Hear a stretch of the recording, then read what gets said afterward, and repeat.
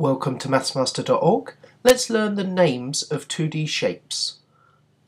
So what do I mean by 2D shapes? Well 2D just means two dimensions and what that means is that the shapes are flat.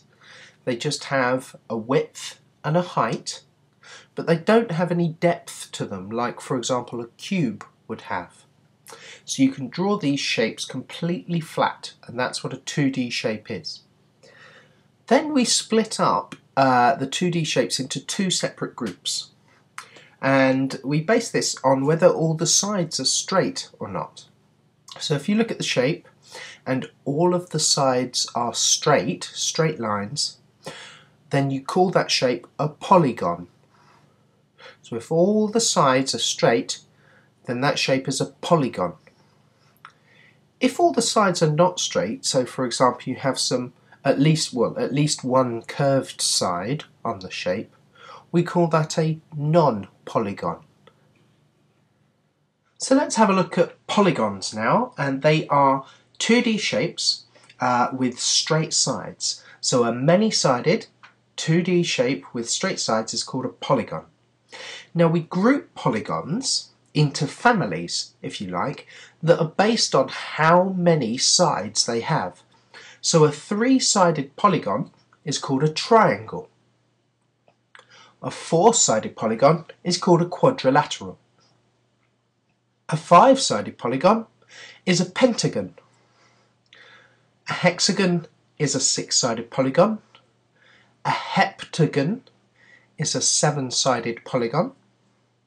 The family of eight-sided polygons are called octagons and nonagons are nine-sided polygons and decagons are ten-sided polygons.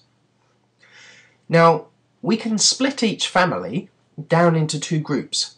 We can either split uh, polygons into regular polygons and that means that all the sides on the shape are the same length and all the angles in the shape are the same size. Polygons aren't regular, they'll be irregular. And that means that all the sides are not the same length and all the angles are not the same. So let's have a look at the family of polygons that we call triangles. That's polygons with three straight sides.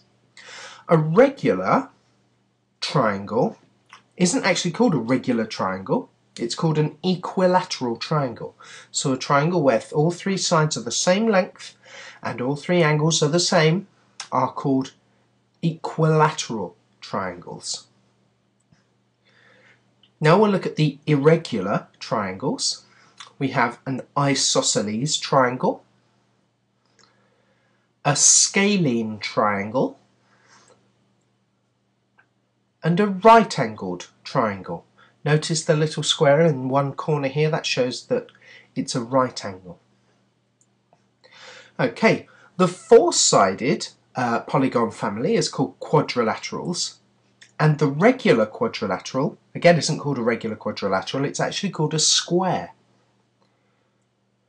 then if we look at the irregular quadrilaterals, we have a rectangle, a parallelogram, a trapezium,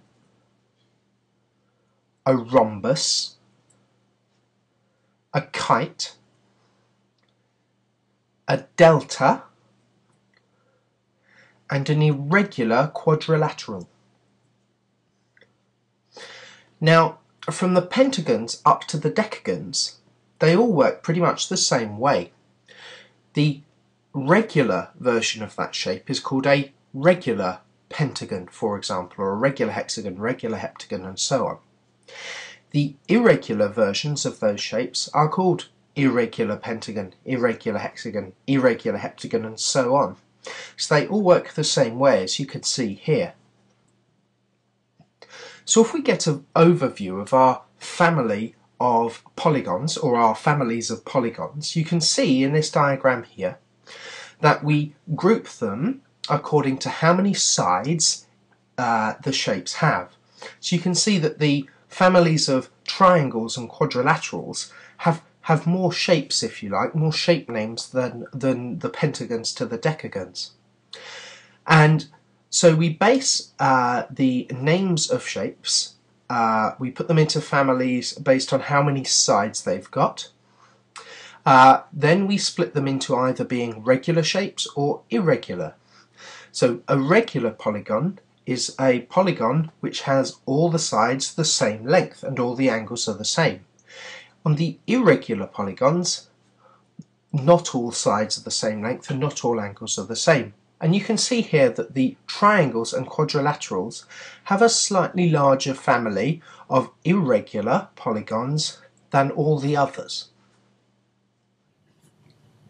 So let's have a look now at the most common non-polygons.